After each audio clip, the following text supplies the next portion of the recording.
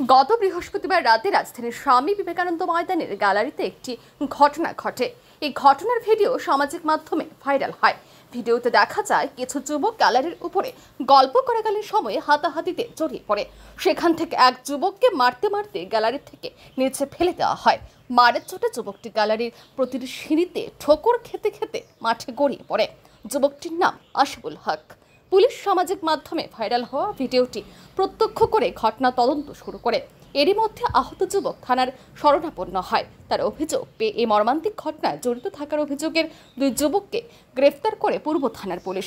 ধৃত দুই যুবকের নাম শানু চৌধুরী এবং রানাদীপ বিশ্বাস। পূর্ব থানার ওসি রানা চ্যাটার্জি এদের গ্রেফতার করেন। শনিবার পূর্ব থানায় বসে এই খবর জানান সদর মহকুমা পুলিশ আধিকারিক দেবপ্রসাদ রায়। তিনি জানান ধৃতদের পুলিশ রিমান্ডের আবেদন জানিয়ে শনিবার আদালতে সোপর্দ করা হবে। তাদের জিজ্ঞাসাবাদ করে ঘটনায় জড়িত অপর যুবককেও গ্রেফতার করা হবে। গত দশ তারিখ রাত্রিবেলা রাত্রিবেলা না ঠিক সেটা আপনি সকালবেলাই বলতে পারেন, সাড়ে ছটা নাগাদ। ঘটনাটা অ্যাকচুয়ালি শুক্রবার রাত একটা থেকেই হয়েছিল। ফাইনালি সকালে সাড়ে ছটা নাগাদ আশারুল আশারুল হক নামে একটি ছেলেকে আস্তাবল মাঠের গ্যালারিতে ভীষণভাবে মারধর করা হয়।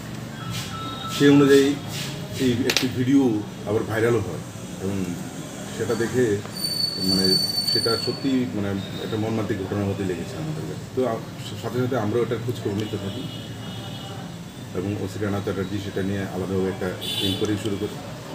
আশারুল হককে আমরা খুঁজে বার করার পর সে আমাদের কাছে কমপ্লেন নিয়ে আসে।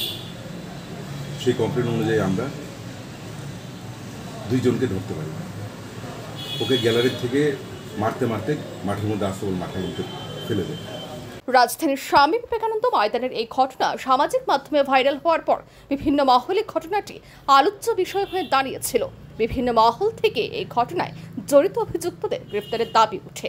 ঘটনায় জড়িতদের মধ্যে দুজনকে পুলিশ গ্রেফতার করায় জনমনে স্বস্তির ভাব ফিরে আসে।